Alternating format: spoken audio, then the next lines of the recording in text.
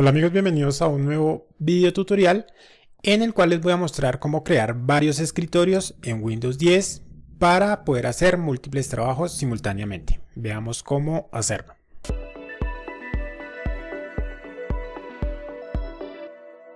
Bien, en este caso estoy en este escritorio, voy a abrir Google y para crear un nuevo escritorio vamos a oprimir las teclas Windows Control D simultáneamente Windows Control D y vamos a crear otro escritorio. Entonces aquí vamos a entrar a YouTube. Voy a entrar a mi canal. Y vamos a entrar a un nuevo escritorio. Entonces Windows Control D. Aquí vamos a abrir Word.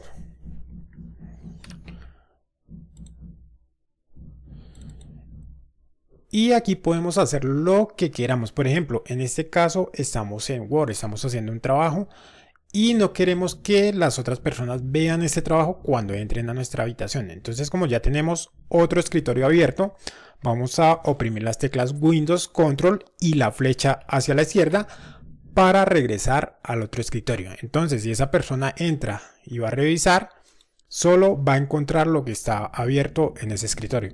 Y vamos a poder pasar a cualquiera de los escritorios con Windows Control, flecha hacia la derecha o hacia la izquierda.